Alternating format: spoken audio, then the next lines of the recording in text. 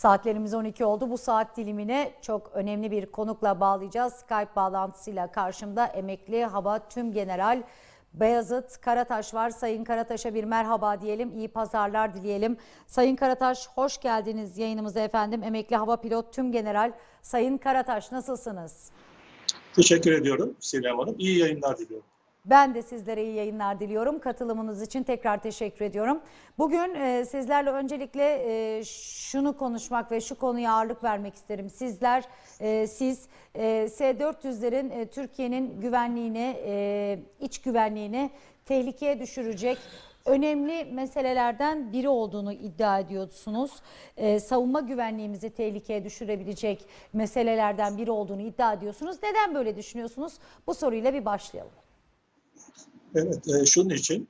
E, çünkü Türkiye'nin 1960'lı yıllardan itibaren uzun menzili, yüksek irtifa, hava savunma ve füze savunma sistemlerine ihtiyacı var. Bunu bir nebze daha e, başlangıçta gidermeye çalıştı ama hep bu açık devam etti. Türkiye'nin özellikle Körfez Harbi sırasında ihtiyacı olduğunda e, bu sistemler Amerika Birleşik Devletleri, Almanya, Hollanda tarafından Örneğin Suriye İç Savaşı'ndan sonra ortaya çıkan ihtiyaçlar için yine yine NATO ülkeleri tarafından karşılandı.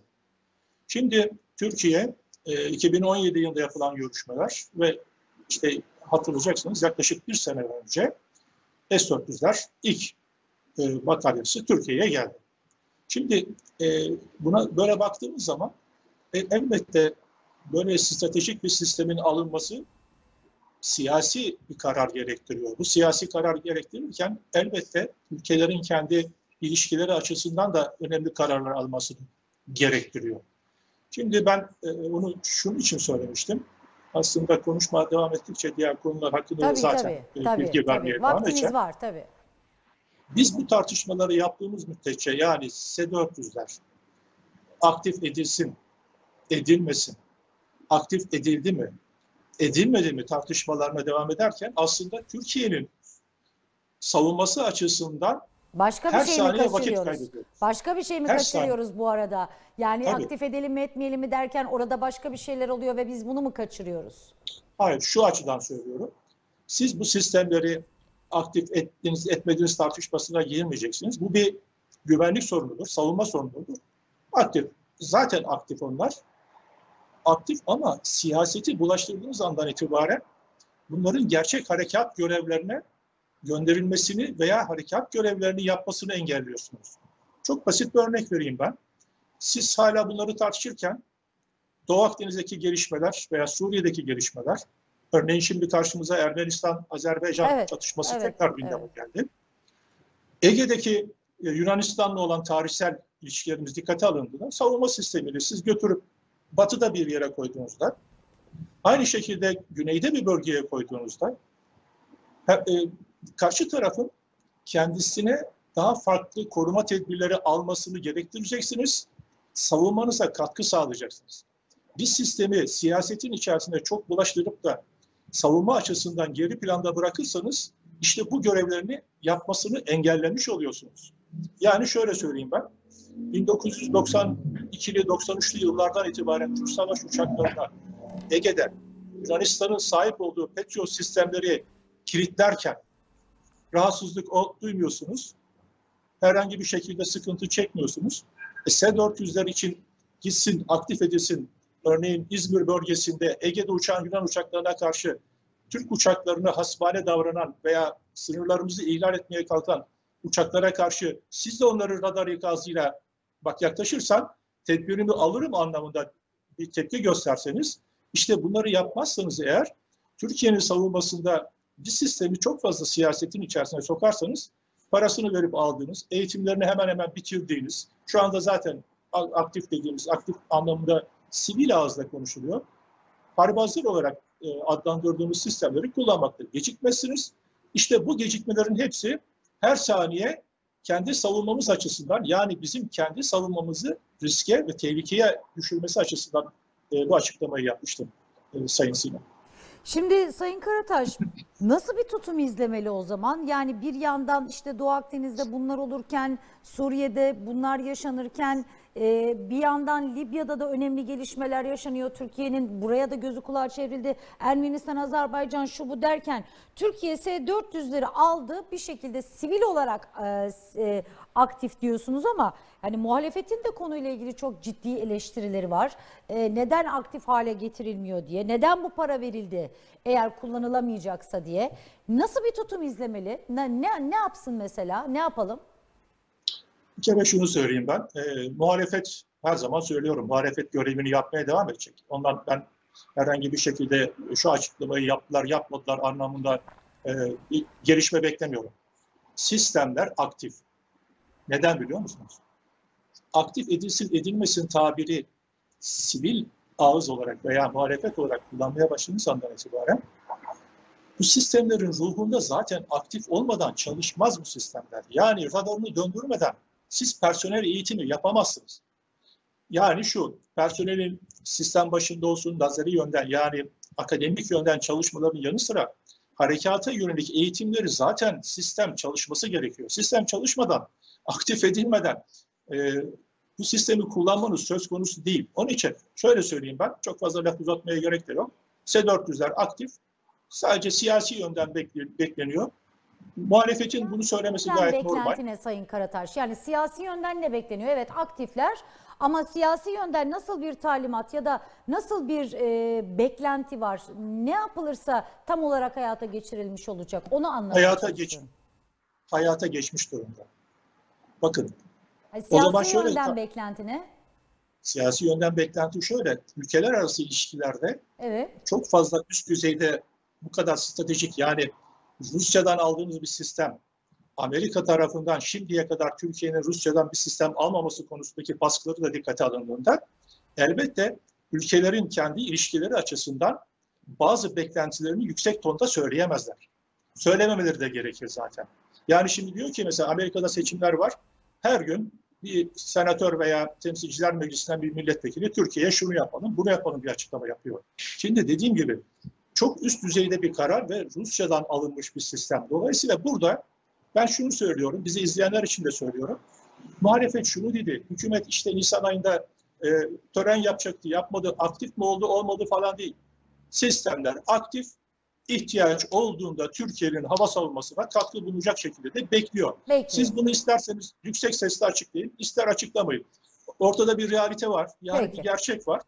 Bal gibi sistemler aktif, İsterseniz önümüzdeki dönemde başka gelişmeler olduğunda da zaten bunları tartışmaya devam Tabii edeceğiz. tabii tabii. O zaman da Sizin göreceğiz. çok altını kırmızı kalemle çizdiğiniz, kalın kalın çizdiğiniz milli muharip uçakları var. Milli muharip uçakları neden önceliğimiz olmalı? Çünkü şunun için söylüyorum. Şimdi F-35 uçaklarıyla ilgili olarak Türkiye'nin e, hikayesi 1997. Aşama aşama biliyorsunuz silah sistemleri aşama aşama e, geliştirilmeye devam eder. 97, 2002 Evet. ama asıl anlaşmayı, anlaşmayı F-35 ile ilgili ilk anlaşmayı mutabakat metnini 2007 yılında imzaladı Türkiye. 2007 evet. Evet, bu 2007'nin Ocak ayında. Aynı şekilde mali yükümlülüklerle ilgili bir anlaşmayı da beraber imzaladı. Evet. Başlangıçta 100 uçaklık bir planlaması vardı Türkiye'nin. Sonra bunu 100 artı 16 yaptı. Toplamda 116 uçağa çıkarttı. Şimdi Türkiye bu projeye girdiğinde Türkiye-Amerikan ilişkileri bulunduğumuz ortamda değildi. Ya ben tekrar yüksek sesle söylüyorum. Bir uçağın kaşı, gözü, işte sağ kanadı, motorları vesaire falan değil. Bunlar stratejik sistemler. Nasıl S-400 alamazsın diyorsa Amerika Birleşik Devletleri, benim uçağımı alacaksın diye de dayatmakta hiç kendisinde bir utanma veya bir sıkılma görmüyor. Şimdi ben buradan tekrar söylüyorum. Bunu yüzlerce kez söyledim. Lütfen bu uçağı değerlendirirken PKK'ya, KJK'ya, PYD'ye, YPG'ye, FETÖ'ye destek veren, Suriye'de Suriye'nin bölünmesini gerçekleştiren, çok net söylüyorum, Suriye'nin bölünmesini gerçekleştiren, Irak'ın bölünmesini gerçekleştiren, Afganistan'da yıllardır süren iç savaşı körükleyen, Afrika'sı yine aynı şekilde Doğu Akdeniz'deki e, ortaya çıkan anlaşmazlıklar, bunların hepsini dikkate aldığınız zaman Türkiye'nin güvenliğine ve bölünmesine de katkı sağlayan özellikle 15 Temmuz gibi bir darbe Evet. girişiminin arkasında bulunan Amerika Birleşik Devletleri'nin bütün yaptıklarını kenara bırakacaksınız. Ya sen gel beni döv, şamarla, ondan sonra itele, kakala, ondan sonra sen o sistemi alma, benim sistemimi al diyeceksiniz. Ondan sonra oturup F-35 uçağını değerlendireceksiniz. Ben kendi şahsi görüşümü her zaman açıklıyorum. Sahaya eğer Amerika Birleşik Devletleri bu dayatmayı çıkarsa o zaman ben de F-35 uçağının Amerika Birleşik Devletleri'nin küresel silah sisteminin, küresel yönetimin, küresel silah gücü ve Amerika'nın sade zincir olarak devreye çıkarım ve F-35 uçağının aslında 5. nesil olarak adlandırılan sistemleri ve bundan sonra ortaya çıkacak olan tüm uçak sistemlerinin veya diğer başka silah sistemlerinin üretici açısından kontrol edilebilirliği çok şiddetli bir şekilde karşımıza çıkacak. Yani siz bu uçağı arzu ettiğiniz şekilde önümüzdeki dönemde kullanamayacaksınız. Kullanamazsınız zaten. Çünkü bütün kontrolü, bütün bilgileri Amerika Birleşik Devletleri'nde ve Amerikan şirketinde olacak. Yani ben sadece buradan bizi izleyenlere şunu söylemeye çalışıyorum. Sizi gelip her türlü hakareti yapacak. Ondan sonra darbe girişiminin arkasında bulunacak. FETÖ elebaşını 21 Mart 1999 tarihinden beri Amerika'da misafir edecek. PKK terör örgütünün örgütünün e, her türlü desteğini sağlayacak. Türkiye'nin bölünmesi için katkı sağlayacak. Türkiye'deki e, yoldaşları, yandaşları tarafından propagandalarına devam edecek. E ben hala diyeceğim ki F-35 uçağı alsaydık iyi olurdu, şöyle olurdu. Değerli dostlar, bu tür ilişkilerde şapkanızı önünüze koyacaksınız ve bir yol haritası çizmek zorundasınız. F-35 uçağının sakıncalarını ben bu ekranda da onlarca kez anlattım. Elinizi kolunuzu bağlayacak olan Amerika Birleşik Devletleri'nin yani Türk Hava Kuvvetleri şu anda yaklaşık %90, %95'lik bir oranda Amerika Birleşik Devletleri'ne bağlıyken F-35 uçaklarıyla birlikte %100 Amerika Birleşik Devletleri'ne bağımlı hale gelecek. Ve ben buradan tekrar sesleniyorum. Türk milleti yani ayaklarına pranga vurmak için her gün sizi şamarlayan, terör örgütlerini destekleyen, PKK'dan önce de Ermeni Asal Örgütü'nü destekleyen, onlarca diplomatımızın ölümüyle başlayan, PKK'da binlerce vatandaşımızın öldürülmesiyle başlayan ve arkasından Suriye'de benim kara ordum diyen karşıma çıkan Amerika Birleşik Devletleri'nin o çirkin, şişman, hantal uçağını mı alacağım? Zaten Amerika Ben Birleşik Devletleri Sayın Karataş e, çok doğru ifade ediyorsunuz. Ben de sizi bölmek istemiyorum tabii. E, Amerika Birleşik Devletleri'nin Türkiye'yi F-35 programından çıkarmasını peki nasıl okuyorsunuz bu durumda? Zaten %100 olarak Amerika Birleşik Devletleri'ne e, bir esaret altına girecek hava kuvvetleri anlamında dediğiniz bir Türkiye'yi zaten ABD o programdan çıkarıyor. Aslında e, Amerika Birleşik Devletleri Türkiye'ye çok büyük bir iyilik yapmış oluyor. İyilik mi yapmış oluyor Zaten durumda? Evet. Kesinlikle Çünkü iyilik siz böyle yapmış. söyleyince bir an düşündüm. Yani e, bu kadar e, KCK'yı, e, PKK'yı destekleyen, e, 15 Temmuz darbe girişimini destekleyen, FETÖ'yü destekleyen Amerika Birleşik Devletleri e, eğer F-35 programına dahil olmamız halinde tüm bağımız artık e, Amerika Birleşik Devletleri'ne ait olacaksa hava kuvvetleri anlamında neden o zaman bizi programdan çıkarıyor? Çıkarması iyi bir şey diye de kendi kendime düşündüm. Yani ister istemez. Hayır şöyle aslında çıkartmak istemiyor. Öyle bir niyeti yoktu. Fakat S-400'lerin Türkiye tarafından alınması onun bütün hayallerini yıktı. Çünkü ilk defa bir NATO ülkesi daha önce e, Güney Kıbrıs Rum yönetimi alınmış, e, için alınmış olan S-300'lerin Yunanistan'a konuşlandırılmasını bir kenara bırakıyorum. Ve daha önce yine e, Varşova Paktı içerisinde yer alan eski Doğu bloku ülkelerinin daha sonra Soğuk Savaş'tan sonra e, tekrar NATO bünyesine girmesini ve Sovyet silahlarını veya Rus silahlarını şöyle bir kenara bıraktığımız zaman bu çok önemli bir gelişme Amerika Birleşik Devletleri için. Çünkü sadece Amerika Birleşik Devletleri değil, onun arkasındaki İngiltere, Fransa, İtalya ve Hollanda gibi ülkelerin de kendi silah sistemlerini Türkiye'ye, Almanya'yı da bunun içerisine dahil edeyim, satmasıyla ilgili olarak da yeni bir e, kamplaşma, yeni bir pencere açılmış oluyor. Burada can alıcı nokta Türkiye gibi önemli bir stratejik konumda bulunan müttefikinin şimdiye kadar lafını dinleyen, Türkiye'nin e, hep böyle her söylediğini dinleyen birisinin alışmışlar onlar. Şimdi birdenbire bu kadar e, ilişkilerin kafa kafaya geldiği, özellikle kara ordusuyla beraber Suriye'de karşımıza, Irak'ta karşımıza çıkan Amerika Birleşik Devletleri'nin FETÖ dahil olmak üzere kalkıp bir de sizden S-400 alma, sen onları gönder, Hatta e, hatırlıyorsunuz e, son e, bütçe tasarıları sırasında da gündeme geldi. Onları sen e, bana sat, saçma sapan tekliflerle e, ortaya çıkan Amerikan senatörleri. E, dolayısıyla Amerika'nın e, paniğe kapıldığı, heyecanlandığı Türkiye'yi e, bir pazar olarak görüyor. Onu müttefik falan, stratejik müttefik falan değil. Bir pazar olarak görüyor. Yani onu kullanışlı bir müttefik olarak görüyor.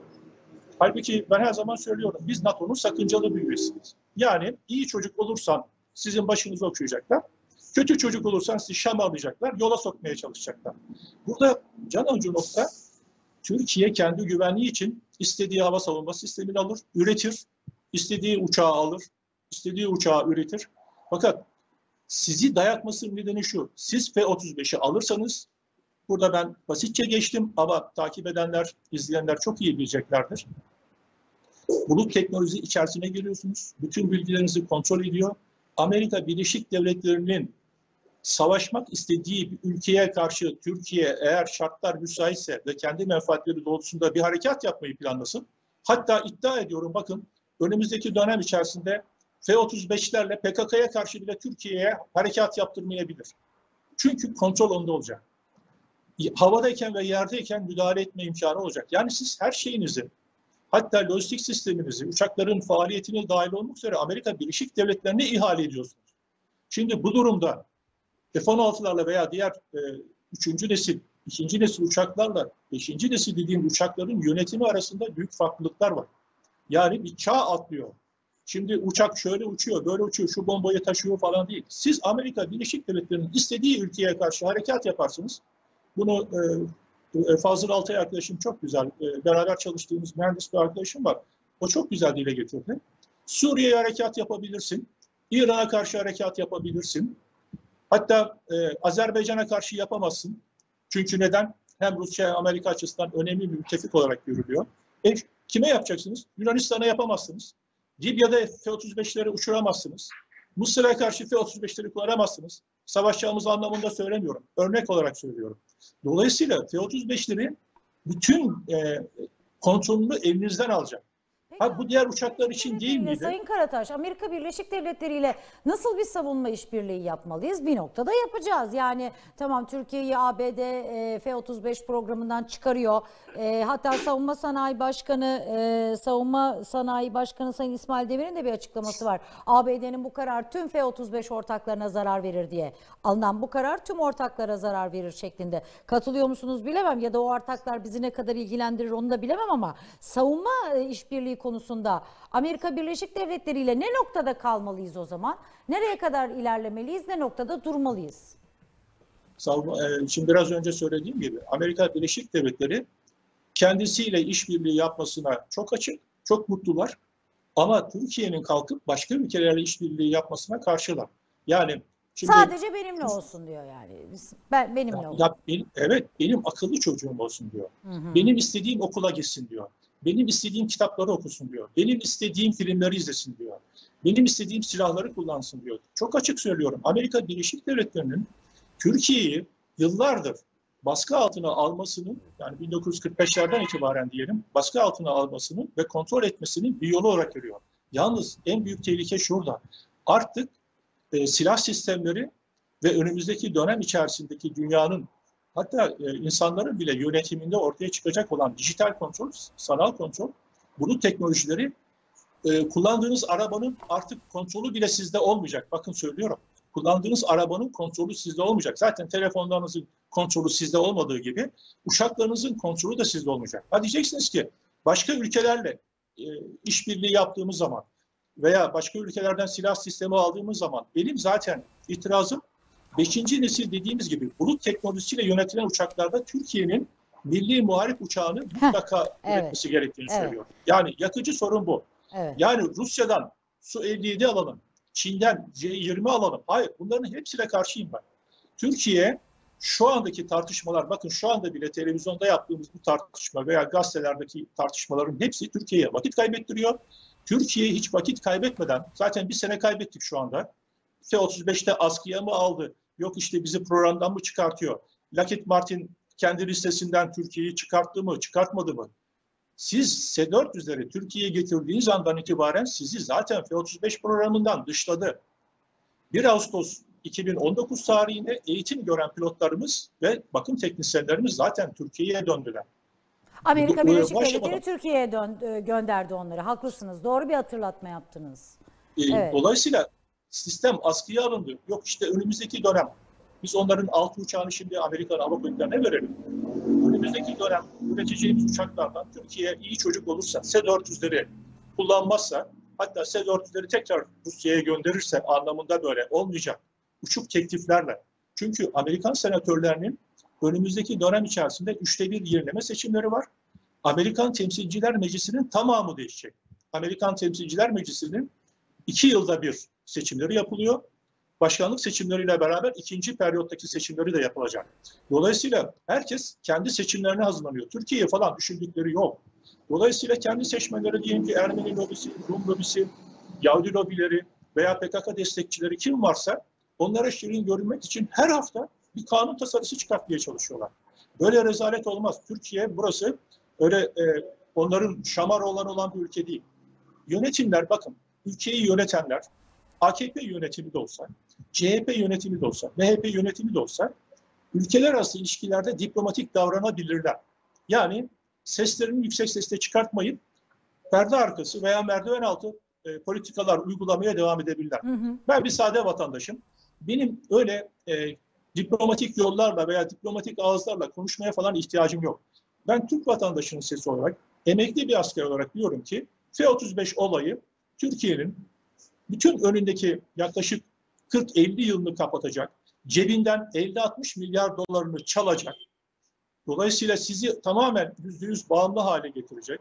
Hatta Amerika Birleşik Devletleri istemezse deniz kaplumbağası bile uçuramayacak duruma getirecek olan tabirleri kullanırken Amerika'nın bu sade zincirine dur demek için güzel bir fırsat ele geçmiştir. Nereden çıkarttılarsa çıkarsınlar Türkiye Peki. artık daha fazla beklemeden Milli Muharip uçağıyla ilgili çalışmalarını hızlandırmalıdır. Ve bunun için Türkiye'de irade vardır. Bir şey söyleyeceğim bu konuda.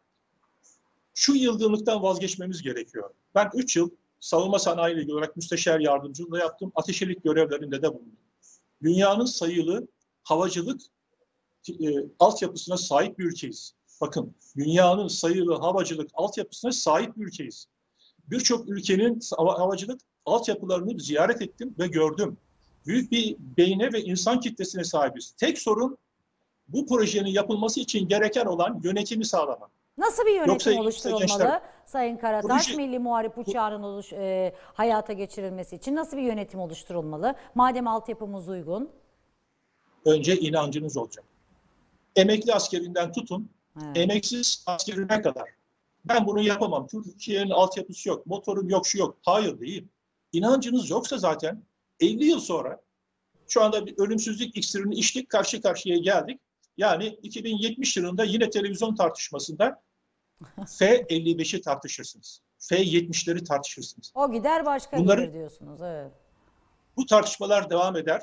Vatandaşın bu ekonomik sıkıntılar ve bu kadar e, tehdit ortamında devam eden ortamda cebinden bakın tekrar söylüyorum. Bu uçağın sahibi olduğunuz andan itibaren ömür devri boyunca işletim masrafları dahil uçağın fiyatını ortaya koymuyorum. Yaklaşık şu anda 100 milyon dolar. 85 milyon dolara kadar düşecek birim başına uçak. Ama işletme maliyetleriyle beraber cebinizden 50-60 milyar dolar çıkacak. Bu parayı milli muharip uçağınıza yatırın. Yavaş yavaş uçağınızı üretmeye çalışın. Ya şimdiye kadar şunu tartışmıyoruz. Şimdiye kadar uçak yapmıştık. işte geçmişte yaptık uçaklarımızı. Sonra ne oldu? Yine Amerika Birleşik Devletleri uçak verdi. Siz vazgeçtiniz. Şimdi bunların hepsini bırakıp inançlı olacaksınız. Önce inancınız olacak. Yani inançlı olmak projeyi bitirmenin yarısıdır. Ben bunu çok net gördüm. Zaten gördüm daha önce de. Yani Türkiye birçok şeyi başarabilir. Yeter ki yönetim, halkta bu inanç var şu anda. Bakın Türk vatandaşlarının hemen hemen büyük bölümü artık Amerika Birleşik Devletleri'nin bu oyunlarına gelmeyip milli muharip uçağımızı üretmemizi gerektiğini söylüyor. Örnek olarak da neyi veriyor? Bilge mi veriyor? Bakın Deniz Kuvvetleri'nin milli çalışmaları Türkiye'nin önünde çok önemli bir örnek. Aralarında sistem olarak farklılıklar var ama hiç önemli değil. Türkiye bunu yapar.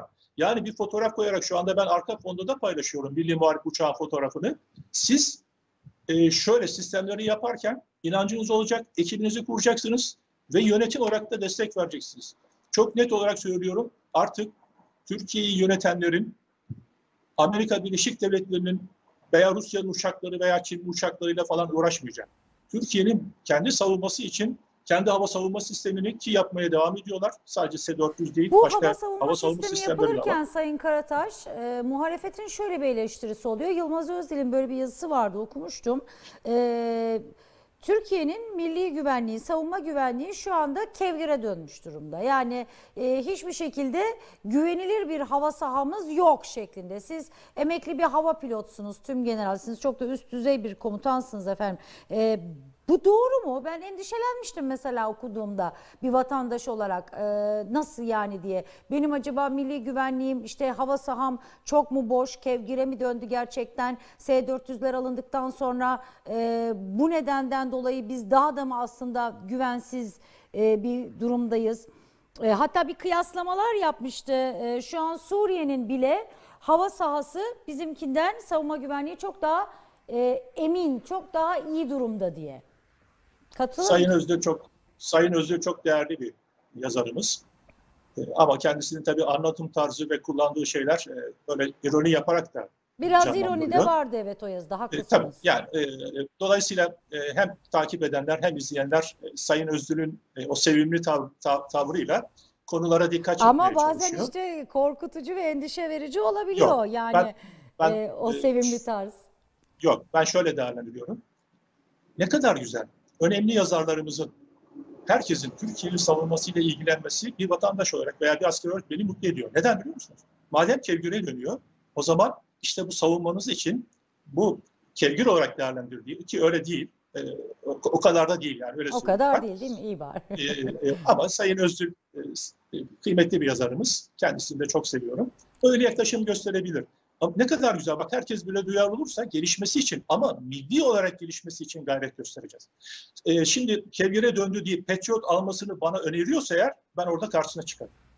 Eğer kevgire dönüyor işte F-35 uçakları alalım ama Amerika'nın her dediği, her şamarına karşı da duralım derseniz orada karşı çıkarım.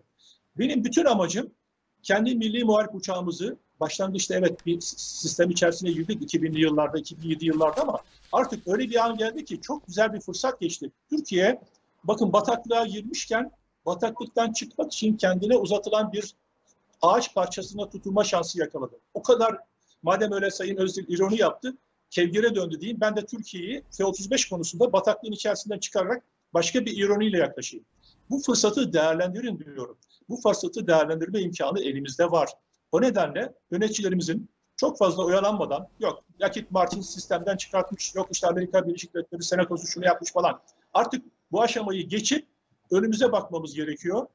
Ee, bakın ben her zaman kullanıyorum. F-35 uçağı, uçağın bir bilgisayar, kullanıcı adı ve şifresi olmadan sistemin bilgisayarına giremiyorsunuz. Ben pilot olarak böyle bir uçakla uçmak istemiyorum. Türkiye olarak siz bilgisayarınızın kontrolünü, pilotlarınızın kontrolünü sanal ortamda, bulut teknolojisinde önümüzdeki dönem içerisinde ki Amerika Birleşik Devletleri şu andaki sistemi daha da geliştirerek daha bağlayıcı bir sistem içerisine girmeye çalışıyor. Bütün savunma sistemini ortak bir bulut teknolojisiyle toplayacak.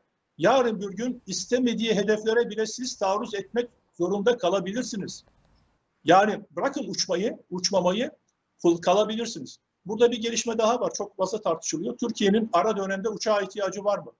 Türkiye'nin şu anda eğer milli muharip uçağıyla ilgili çalışmaları hızlandırırsa elindeki mevcutlar yani F-16 uçakları yeterli olur.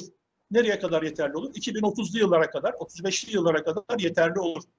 Ama bir sorun daha var.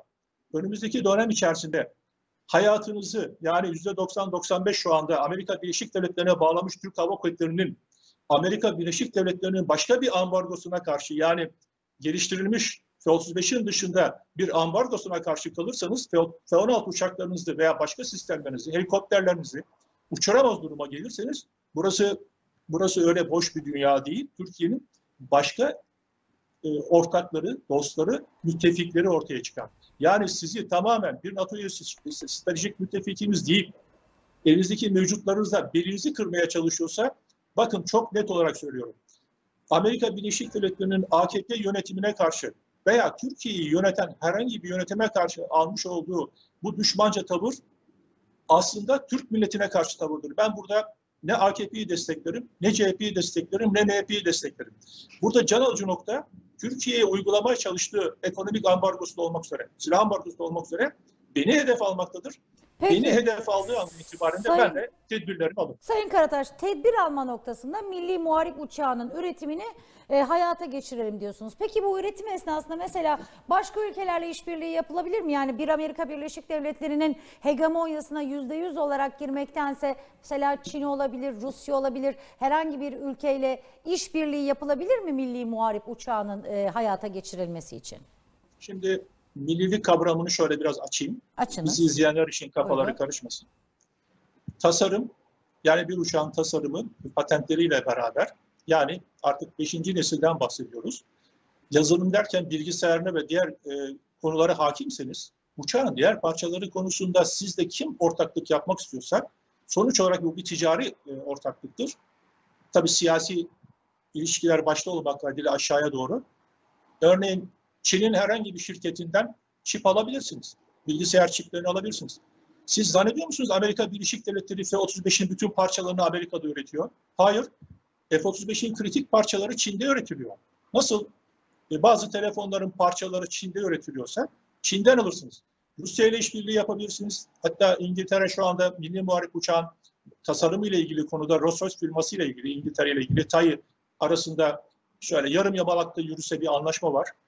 Daha bakın gündeme getirmedim. Pakistan'ın 2017 yılından itibaren Türkiye'ye şu anda kullanmış olduğu Çin-Pakistan ortak üretimi olan F-16 benzeri uçakları bu boşlukta eğer ihtiyacın olursa ben devredeyim.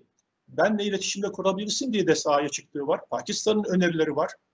Şimdi millilik kavramında can acı nokta onun yazılımına, tasarımına, dizaynına sahip ol- olduktan sonra geri kalan bölümlerdeki parçalarda elbette ufak bir parça için fabrika kurulmaz. Şimdi bizim geçmişten gelen vatandaşlarımıza anlatırken millilik kavramını yanlış anlattık. Yani böyle teknolojik bir uçağın hepsini sıfırdan biz üreteceğiz diye sahaya çıkarsanız olmaz. Bakın şu anda e, yerli arabayı üretmeye çalışıyorlar. Yerli arabayı üretirken bile tasarım ve dizayn konusunda kendi Türk mühendislerimiz çalışsa bile İtalyanlardan destek almışlar, Almanlardan destek almışlar. Ama bunun kontrolü veya üretilmesiyle ilgili diğer patent şeyleri Türkiye'ye ait olacak. Dolayısıyla küresel dünyada küresel silah sistemleri de üretirken diğer ülkelerle işbirliği yapabilirsiniz. Ama ben seni sevmiyorum, seninle çalışmak istemiyorum diyen varsa sen de onlarla çalışmasın. Başkalarıyla çalışırsınız. Dolayısıyla bu üretim aşamasında sizde kim çalışmak istiyorsa çalışabilirsiniz. Bu işler parasıyla yapılır. Gidip Amerika Birleşik Devletleri'nin cebi dolacak diye 50-60 milyar dolar Amerika'ya vereceğime bunun 40 milyar dolarına ben Türkiye'de milli muharip uçağın geliştirilmesi konusunda, üretilmesi ve uçması konusunda önemli başarılar kazanacağına inanıyorum. Can alıcı nokta şu. Bu işten ekmek yiyen, bu işin e, şirketlerinden, lobilerinden paylaşan insanlar var. Bu insanların sadece kendi ceplerini düşünürler ve çıkıp propagandayı yaparlar. Dolayısıyla ben diyorum ki e, bu insanlar ülkelerinin menfaatlerini düşünmezler. Burada ülkeyi yönetenlere büyük görev düşüyor. Bakın kendi siyasi çıkarları için olsun, diğer çıkarları için olsun ama yarın bir gün şu, şu anda fonda gördüğünüz bu muharip uçağı eğer böyle e, mokabını yani maketini yapmışsınız, fotoğrafını paylaşmışsınız, işte şu gün hangardan çıkacak, şu gün uçacak diyorsanız uçuracaksınız kardeşim. Vatandaş sizden bunu bekliyor. Bakın çok net olarak söylüyorum. Ben bir vatandaş olarak bu tarih tar- e, tarihin karşımıza çıkarttığı fırsatı güzel değerlendirin. Bu uçağı uçurun kardeşim. Eğer bu uçağı uçurmayıp tekrar yok işte şöyle olurdu, böyle olurdu falan derseniz yarın bir gün bunun hesabı karşınıza çıkar. Yani Amerika Birleşik Devletleri'ne, Türk Hava Kuvvetleri'ni bağımlı hale getirmişler geçmişte. Şimdi ayaklarımızdaki zincirlerin anahtarını bulduk, gevşettik. Bir fırsat çıktı. Atın zincirleri diyorum. Yapın milli muharip uçağınızı diyorum. Kimle ortaklık yaparsanız yapın ama kullanım, bilgisayarınız, yazılım, silah sistemleriniz kontrolü sizde olsun diyorum. Bu şekilde özetliyorum Sayın Sinan. Var mı Sayın Karataş eklemek istediğiniz bir şey? Bakın Türkiye'nin bu S-400 ile ilgili olsun. Yarın bir gün S- S-500 olur veya e, başka silah sistemleri olur. bunlarla ilgili uluslararası alanda Amerika Birleşik Devletleri haydut bir devlettir. Bakın çok net söylüyorum. Her zaman söylüyorum. F-35 anlaşmasında S-400 alırsanız F-35'ten çıkartırsınız diye bir madde yok. Bir de üstelik biz gidip altına imza atmışız. Neden? Amerika'ya çok güvenmişiz. Ee, Bizim stratejik ortağımız. Ne diyor? Eğer bir anlaşmazlık olursa diyor, bakın hep birle başlıyor. Bir kişiye, bir ulusal yani milli mahkemeye, bir uluslararası mahkemeye bir kişi veya kuruluşlara gidemezsiniz diyor. Bu sorunu aramızda çözeceğiz diyor. Böyle bir şeyin altına nasıl imza atarsınız? Ama sadece Türkiye değil, bütün diğer ortak ülkeler de bu anlaşmanın altına imza atmış. Şimdi bakıyorum şu andaki NATO Genel Sekreteri, o zaman e, Norveç'in başbakanı. He, bütün ülkeler e, Amerika'da imza atıyorlar F-35 anlaşmasına. Bir iki ülke, bunların başında Norveç geliyor. Norveç Başbakanı kendi siyasi geleceği için F-35 anlaşmasının imza anlaşmayı Norveç'te imzalıyor. Bakın şu anda Amerika Birleşik Devletleri'nin NATO nezdindeki büyükelçisi eski bir senatör hanımefendi. Silah lobilerinin kraliçesi. Üç yıl aynı zamanda ben NATO'da Milli Silahlanma Direktörlüğü olarak Türkiye'yi temsilen o yuvarlak masanın etrafında oturdum. Altı kez, üç yıl içerisinde altı kez toplantıya katıldım. Her seferinde milli olarak çıkış yaptığımda bende özel olarak görüşmek isteyenler Amerika Birleşik Devletleri temsilcisi ve İngiltere temsilcisi. Dolayısıyla Türkiye'nin nasıl bir sarmal içerisinde olduğunu içimizdeki işbirlikçileri bakın çok net söylüyorum. Daha nasıl söyleyeyim ben? Bu işbirlikçileri gizli gizli lobi yapıyorlar. Sinsi sinsi lobi yapıyorlar. Ben çok net olarak lobi yapıyorum. O lobi de şu. Milli muharip uçağınız için karşınıza fırsat çıktı. Bütün imkanlarınız var. Paranız da var. Pulunuz da var. Oturacaksınız yapacaksınız Peki. kardeşim. Peki. Bu kadar net. Çok teşekkür ediyorum emekli hava pilot tüm general Sayın Beyazıt Karataş. Yayınımıza şeref verdiniz. Çok güzel izah ettiniz. Çok güzel anlattınız bize vaziyeti. Umarız hayata geçirilir. Başında milli olan e, her şeye kapımız sonsuza dek açık. Başımızın üzerinde de yeri var. Umarım e, milli muharip uçaklarının üretilmeye başlandığı günü de sizinle konuşuyor oluruz. Doğru öngörüleriniz için, doğru tespitleriniz için çok teşekkür ediyorum. İyi pazarlar diliyorum efendim. Bir cümleyle kapatacağım. Buyurun Yok, özür efendim. diliyorum. Rica ederim efendim. Cümlenizden buyurun. sonra konuşmak Lütfen efendim istemezdim ama buyurun buyurun. Estağfurullah. bu ekranlarda bu ekranlarda S400 gelecek dediğimiz zaman e, gülüyorlardı sinsi sinsi. S400'ler geldi. F-35 programından da çık, çıkarıldık dedim. Askıya alındık dediler. Çıkarıldık. Bakın çok ne söylüyorum. Milli Muharip uçağımızı da yapacağız.